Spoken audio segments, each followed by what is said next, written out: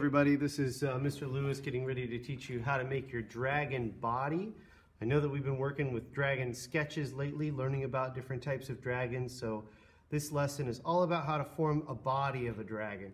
It doesn't matter if it's Western style or Eastern style, or if you're doing your own type of dragon, a hybrid or a sea dragon or some sort of cutesy little poppy dragon, whatever you're feeling like doing, the skills that I'm going to teach you about shaping the clay today are going to help you no matter what kind of body you're creating.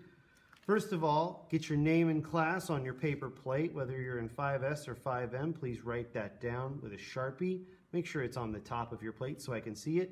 Then you're going to need a big block of clay. Usually the clay comes in uh, a size like this for a dragon body because we want a lot of clay. That's where most of the body parts are going to be attached, whether it's arms or legs or wings. The skills I'm going to teach now are going to help you shape the body with your hands, which are the best tools for clay. When you get a block, you're going to need to squeeze that block out to make it skinnier and skinnier. Now, I'm leaving a little bit of clay here at the top of my dragon's body for the head. I'm going to shape the head out of this. I'm not going to make the head separate and stick it on, but I'll save that for another video. Right now, you're just squeezing the clay and getting it to extrude into a longer, thinner shape, coming to a point at the tail. You can see this body for my Western style dragon has some curve to it.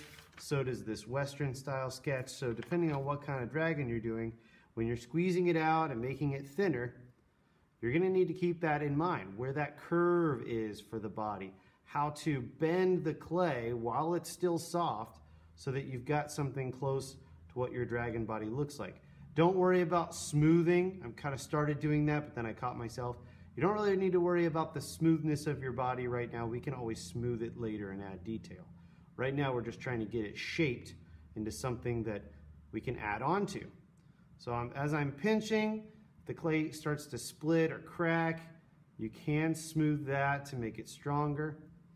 As, remember, this clay is water-based, so it is starting to dry out as soon as you touch it. So the less you touch it, the quicker you form it and get it into something that is ready to add on to, the better it's going to be. So I've got my clay relatively squeezed out into something that I can work with. Now, I'm gonna do a Western style dragon with this piece of clay, but if you're doing an Eastern style dragon like this, then you can just simply make it longer and skinnier, and if you're making the head separate, you don't have to leave a ball of clay at the end. That's something you can make separate and score, a slip, and stick it on. But you need to, once you get the body long and skinny, like this Western style dragon, you need to then kind of think about how you're going to bend it. Now the clay is going to want to start drying out and cracking and breaking the more you touch it. So if you can bend it, shape it with your hands, Get it as skinny as you need to. I know my tail's not as skinny as it is in the sketch, but if I go much skinnier, it's gonna likely break on me.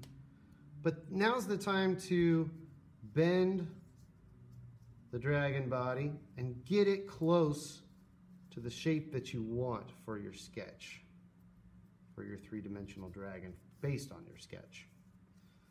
Once you've got it kind of in the right shape, then you need to start thinking about what you're going to add to it. Now might be a time where you could kind of smooth it just a little bit, but again, the more you touch it, the drier it's going to get. If you're ready to move on to add arms and legs or other features to this creature, you can switch to the video that is appropriate for you next. If your dragon body's done, lay it down on your paper plate and let it sit there without touching so you can do some more work.